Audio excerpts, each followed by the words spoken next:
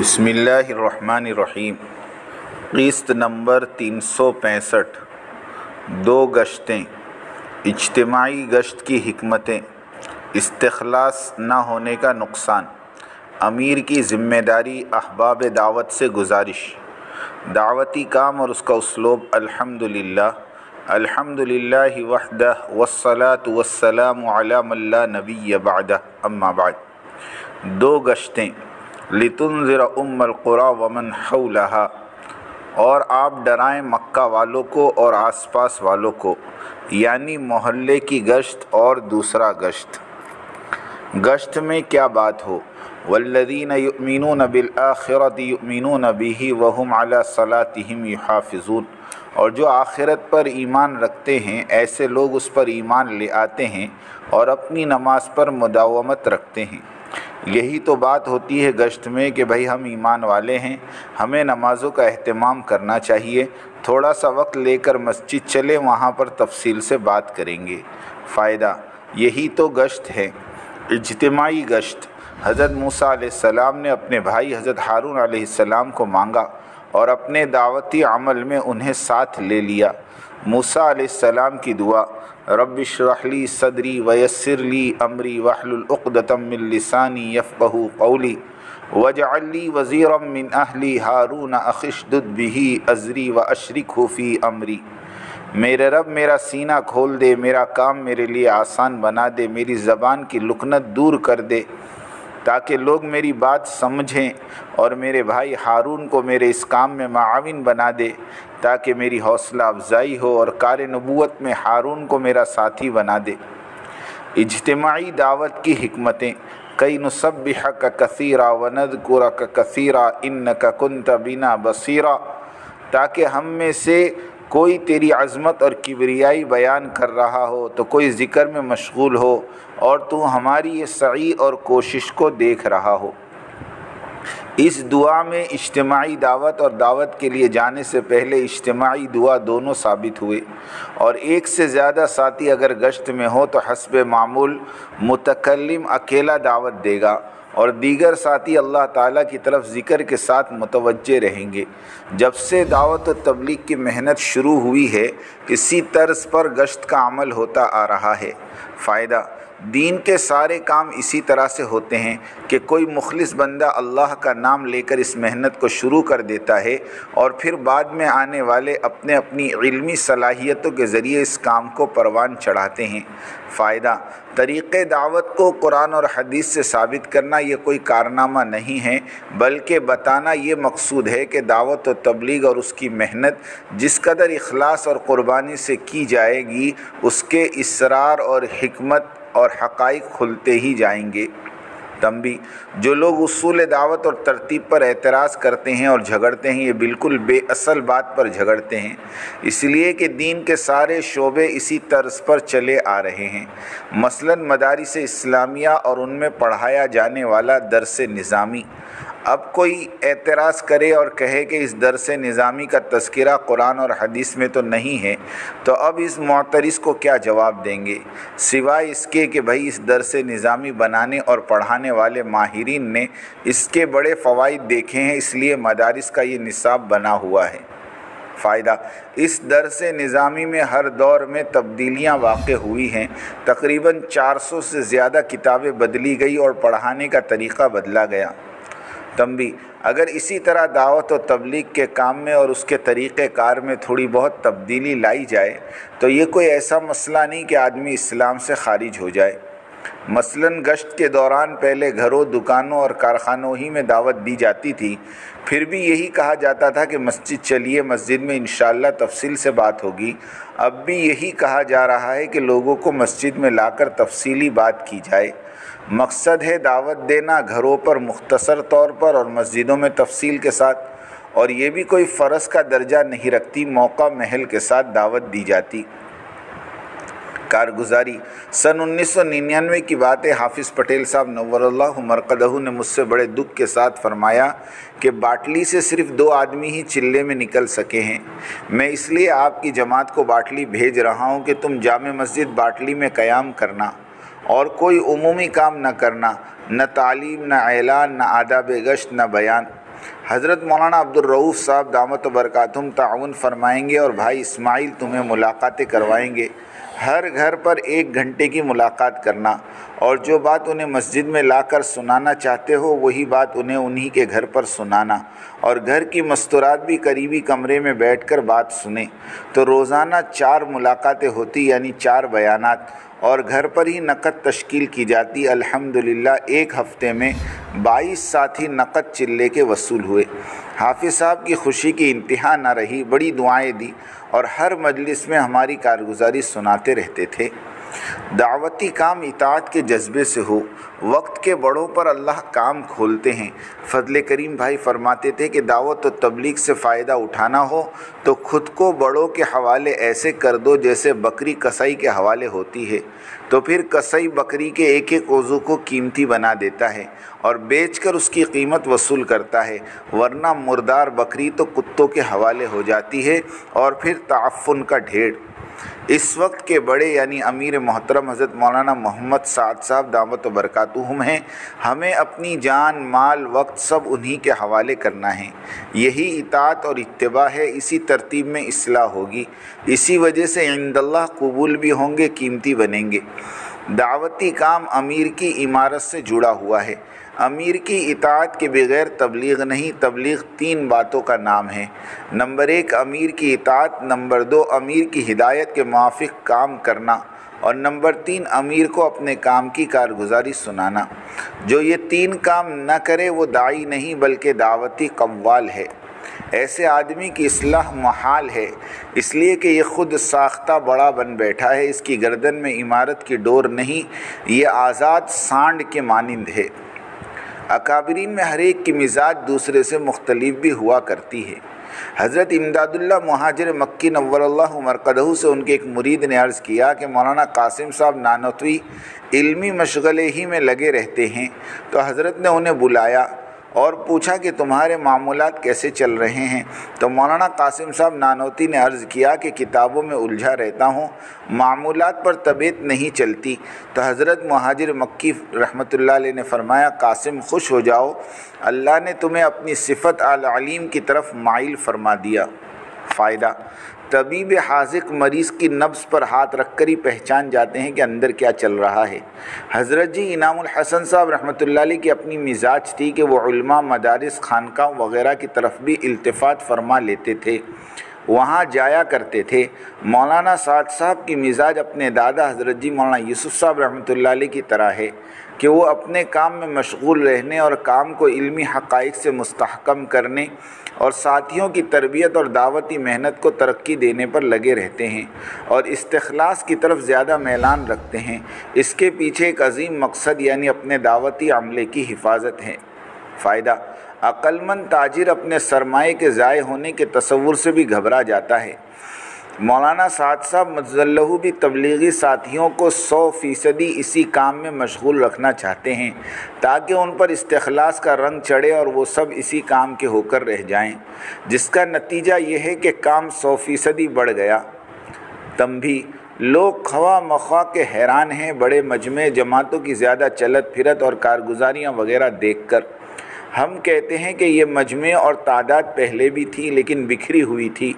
कोई तालीम की तरफ़, कोई असलाई रुझान की तरफ़ तो कोई रिफाही कामों की तरफ़ तो कोई सुस्ती और काहली की तरफ़। अमीर मोहतरम हज़रत जी मौलाना साद साहब की तरतीब दावत और इस्तलास कैफियत ने बिखरे हुए मुंतशिर दावती मजमे को एक जगह फिर से जमा कर लिया। और सबको इस्तलास का सबक सिखाया, जिसकी वजह से आनन फानन मजमा बढ़ गया। मजमे के लोग आसमान से नहीं टपके इसी ज़मीन पर थे, मगर बिखरे हुए थे, जमा कर लिया गया। तंबी गुज्त दहाइयों में तबलीगी साथी बड़े ज़ाय हुए। मेरे कोता अंदाजे के मुताबिक 80 फ़ीसदी तबलीगी मजमा दूसरी लाइनों में चला गया। मदरसों खानकाओं सियासत और रिफाई इदारों में बहुत सा मजमा चला गया। हम हल्फिया कहते हैं कि दुनिया भर में जितनी दीनी तहरीकें और इदारे हैं, उनकी अस्सी फ़ीसदी तादाद चिल्ला तीन चिल्ले लगाए हुए साथियों की है। पहले तबलीगी थे और बाद में उन्होंने लाइन बदल ली। अगर इतना बड़ा मजमा दो गश्तों वाली तरतीब पर जमा हुआ होता तो दुनिया की हालत ही बदल जाती। नफ्स अयार है, सौ भेस बना लेता है कहाँ, बिस्तर उठाकर दर बदर फिरना और मुजाहिदे करना, और कहाँ, दूसरी लाइन के मज़े और आराम न घर छोड़ना पड़े ना कारोबार। इन बातों ने तबलीगियों को नूरानी हिजाब दिखाकर दावती मेहनत से रोक दिया था। इस्तखलास न होने का नुकसान। दावत व तबलीग में यकसुई के साथ चलने की बात ही कुछ और होती है। दाई पर दावत का रंग चढ़ता है और वो फिर कभी मदरू नहीं बनता। इस्तखलास न होने की वजह से दाई पर दावत का वो रंग नहीं चढ़ता जो चढ़ना चाहिए। जब दावत का रंग नहीं चढ़ता तो कभी भी किसी की दावत को कबूल कर सकता है। दाई से मदरू बन सकता है। फ़ायदा, दूध जब तक मक्खन नहीं हो जाता, तब तक उसकी खैर नहीं।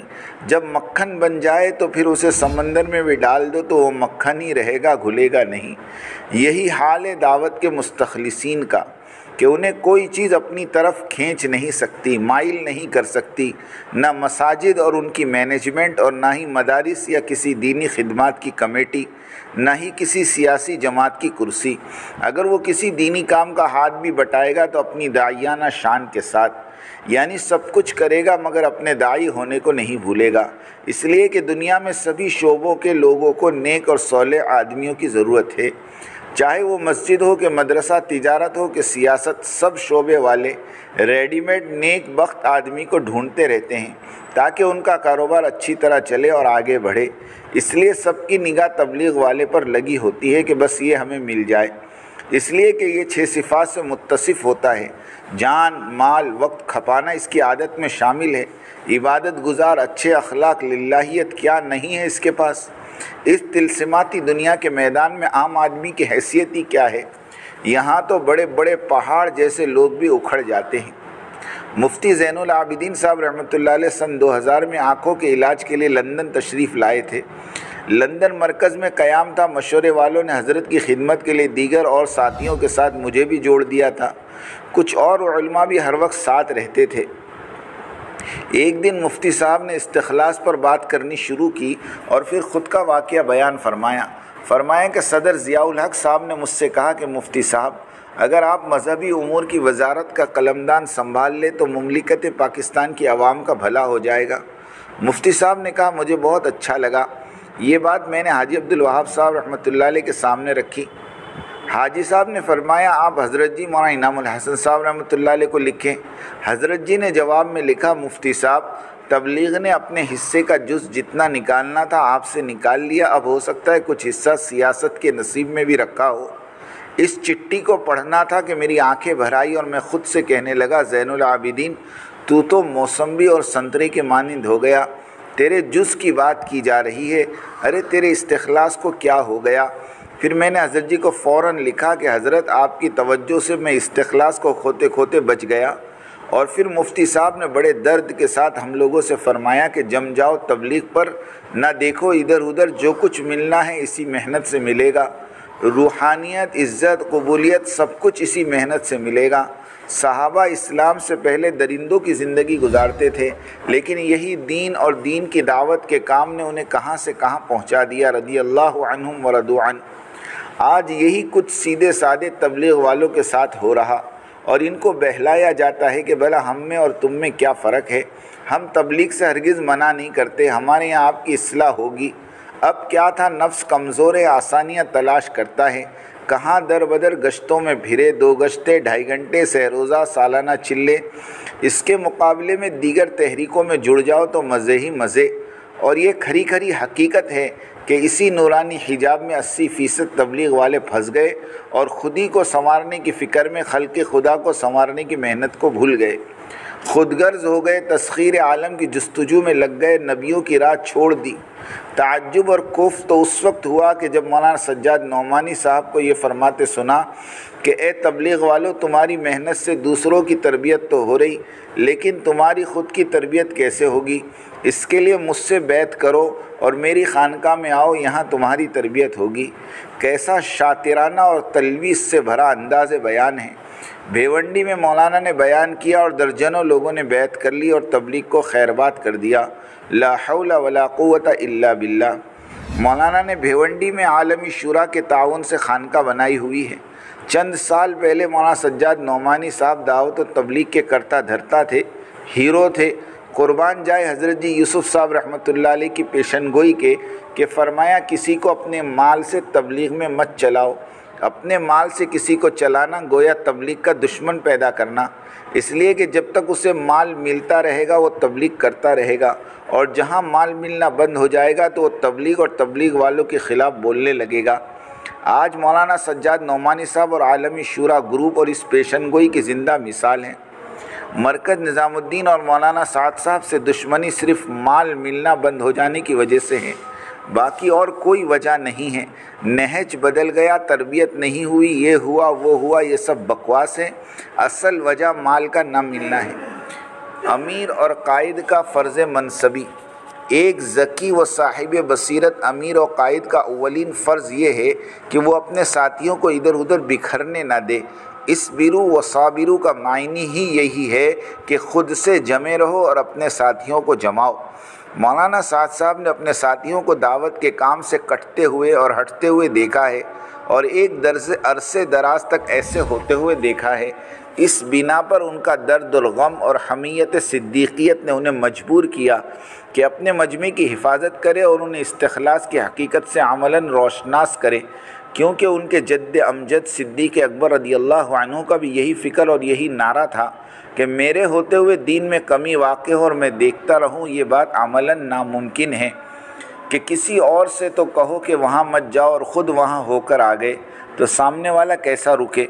इसलिए मौलाना साद साहब ने सिवाय तबलीगी मकासद के और किसी मकाम पर आने जाने का सिलसिला रोका हुआ है और इसमें कोई कबाहत भी नहीं। वैसे जब गुजरान हो जाती है तो उन मकाम पर हाज़िरी भी हो जाती है। हमने खुल कर बात कहते हुए एक हदीस शरीफ पर अमल करने की कोशिश की है कि हक बात कहो, अगरचे कड़वी लगे। दुनिया भर के दावती काम वाले हजरात से इल्तजा है कि इन बागियों के ग्रुप के खुद साख्ता फ़ैसले का रद्द करें, जहाँ तक हो सके इस मैसेज को फैलाएँ। साथियों की जहन साजी करें कि मौलाना साद साहब और निज़ामुद्दीन मरकज़ ही असल मरकज़ हैं और उसी के मशवरे से चलें और हर वो शख्स जो निज़ामुद्दीन मरकज़ और मौलाना साद साहब के ख़िलाफ़ बकता फिरे, उससे अल्लाह की पनाह तलब करे। ये दौर तबलीग वालों के लिए एक अजीम इम्तहान का दौर है। अल्लाह हमें साबित कदम रखे। आमीन व आखिर दावाना बात तवज्जो सुननी पड़ेगी बहुत तवज्जो सुननी पड़ेगी। तुम बात को गलत मतलब निकालोगे अपने जहन से। तो मेरा मेरे जहन में जो मतलब है उस पर गौर नहीं करोगे। ये बड़ी ये बड़ी मुसीबत है जमाने में। बजाय जो मैं चाहता हूँ उस तरफ़ तवज्जो करने के अपने दिमाग में जो कुछ लिए बैठे हो उसको गलत रुख पर ले जाओगे। सुनो गौर से। बात को समझने के लिए सबसे पहले आदमी अपने जहन को और अपने बर्तन को एतराज़ और तरद और इश्काल से खाली करे। इसलिए कि अगर किसी बात को भी मफहूम मुखालिफ और किसी बात को भी किसी दूसरे अमल की तरदीद या उसकी तनकीस या उसकी इफादियत को कम समझने के सुजन के साथ सुना गया, नफे की बातों से नुकसान होना यकीनी है। इसलिए सबसे पहले हम इसकी नीयत करें। की नीयत करें पूरी बात सुनेंगे आगे पूरी बात नकल करेंगे। आधी सुनना ये भी दीन दावत के लिए नाकिस। और आधी बात का नकल करना, ये तो बड़े फसाद का ज़रिया है। इसलिए बहुत तवज्जो के साथ बात सुननी है। और अगर आपने अभी तक हमारा चैनल सब्सक्राइब नहीं किया तो फ़ौरन सब्सक्राइब कीजिए। साथ ही बेल आइकॉन पर क्लिक करें ताकि मजीद आने वाली वीडियो है, वो आपको वक्त पर मिलती रहे।